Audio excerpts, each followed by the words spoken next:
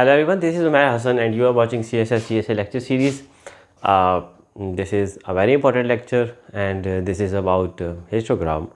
Uh, what we are going to do today is we are going to study about uh, histogram, uh, types of histogram, one with equal interval, other one with unequal interval and then a question from your past paper. it is quite related to bar graph but it has some specific difference when you will compare it with the bar graph. And this was one of the questions in your papers as well. I think the difference between histogram and bar chart. So uh, let us start from histogram. So histogram is basically mm, quite similar to bar chart because it has bars. It has bars. But the difference is it has bars without spaces without spaces bars are adjacent. One bar then the next one then the next one because your horizontal axis is for class intervals and your vertical axis is for frequency. Uh, well one thing uh, histogram basically we are you we, we are using the histogram to display the data. So you use histogram to display uh, data to display observations uh, uh, to analyze the observation in, in, a better way. So, what is written over here about histogram is a chart that looks like a bar graph. It is, but without spaces. When bar graph have spaces, I have told this in my previous lecture. It is usually used to represent, okay, another important thing, group data, continuous data. So, if, if you are asked about the difference between a bar graph and a histogram. Then the difference is quite obvious. First difference is bar graph have bars that have spaces while histogram don't have spaces between the bars. Difference number 2 bar graph is usually used to represent discrete data while a histogram is mostly used for group data or continuous data. Group data mean when data is divided in groups. Uh, if, if you are given with the random data and you divide your data in groups, then that is group data. You will uh, you will be getting this point from the example what is group data and continuous data.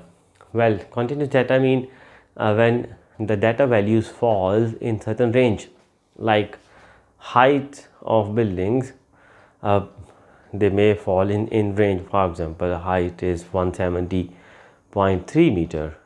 So 170.3 meter falls in a range 170 uh, uh, uh, 170 to 171 because then we may round off the values according to the uh, given data. So when your observations falls in between some range. It falls between some range like uh, the speed of cars.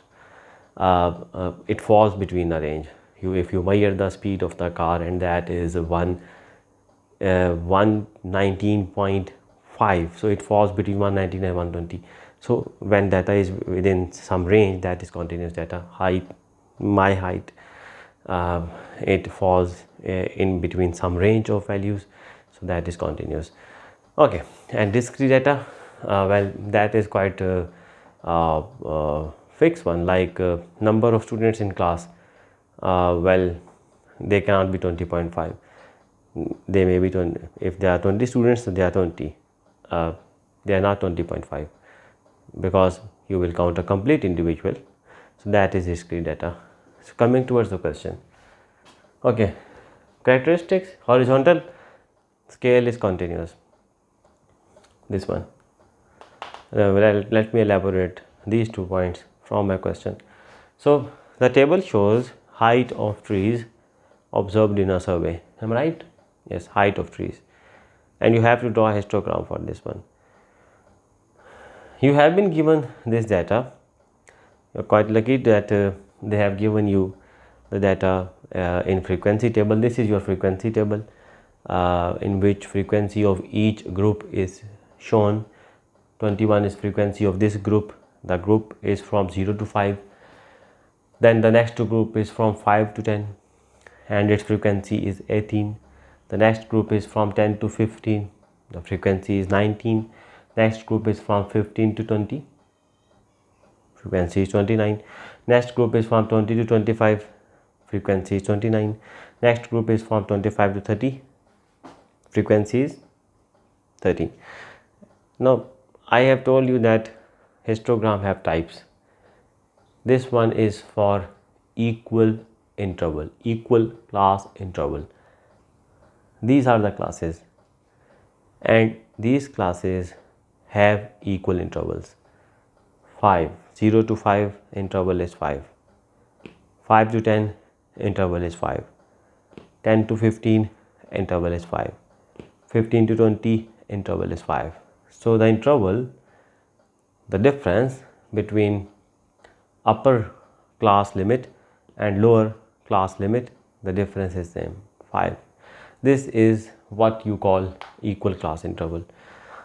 So this may be uh, one of the questions they may ask you from this type of histogram. So how you are going to plot it? That is quite simple. You will draw a chart. On x-axis you are going to show your classes. On y-axis you are going to show your frequencies. So i'm marking classes class interval 0 to 5 5 to 10 10 to 15 15 to 20 20 to 25 25 to 30 and on y-axis I will show the frequencies highest frequency is 30 let us take the interval of 5 5 10 15 20 25 30 so your first bar will be from 0 to 5 with a frequency of 21 from 0 to 5 with a frequency of 21 this is 21 so this is your first bar with the frequency of 21 the second bar is from 5 to 10 with the frequency of 18 5 to 10 with the frequency of 18 18 over here. So this is your second bar. Now they are adjacent no space. The third bar will be from 10 to 15 with a frequency of 19 10 to 15 with a frequency of 19 the next is from 15 to 20 with the frequency of 29 15 to 20 with the frequency of 29 like here. Frequency of 29 next 20 to 25 is frequency of 29 20 to 25 has a frequency of 29 then they are same in height because frequencies are same. And then from 25 to 30 the frequency is 30 so you have to make them adjacent with no spaces in between them. So this is your bar graph. No spaces in between the bars. So this is how you are going to plot a histogram with equal class intervals so let us take an example of unequal class intervals. Wait a minute. Okay this is the next case when histogram are to be uh, plotted with unequal class interval. Now what is unequal class interval? Now this one. 5 to 15 you have interval of 10 then from 15 to 20 you have interval of 5 20 25 has got interval of 5 and from 25 to 40 you have got interval of uh, 15 well they are unequal they are not equal. So histogram in this case will not be plotted by the same technique as I have done in my previous question. So for this one the frequency is given uh, from 5 to 15 uh, we have number of plant basically number of plant is frequency 4 15 to 20 frequency is 8 mean 8 plants are in this range 15 to 20 then from 20 to 25 you have 7 plants. Number of plant is frequency. Now how to plot this one? You are not going to use frequency directly in this case. We are going to use a term which is called frequency density. Frequency density is frequency divided by class width. Like frequency is 4 divided by class width. The width of this class is 10 from 5 to 15 the width is 10 so 4 over 10 frequency divided by class width. 4 over 10 will give you 0.4 the frequency density for next class is frequency divided by width of the class. Width is 5 from 15 to 20 width is 5 so frequency is 8 divided by width which is 5 so 8 over 5 will give you 1.6 that is frequency density. Similarly find frequency density for the next two classes by dividing the frequency by class width. So you got frequency densities now you can plot histogram. Y-axis will be for frequency density and x-axis will be for class intervals. Now for first one the class is from 5 the interval is from 5 to 15 so from 5 to 15 you have to draw frequency density of 0.4 this is 0.4 well y-axis is selected according to the frequency densities values uh, my maximum values were 1.6 and my minimum value is 0.4 so I have to adjust my values over here. So I have taken my own intervals. You can take your own interval. You may take 8.2 0.4 0.6 0.8 1 1.2 1.4 1.6 that is your choice.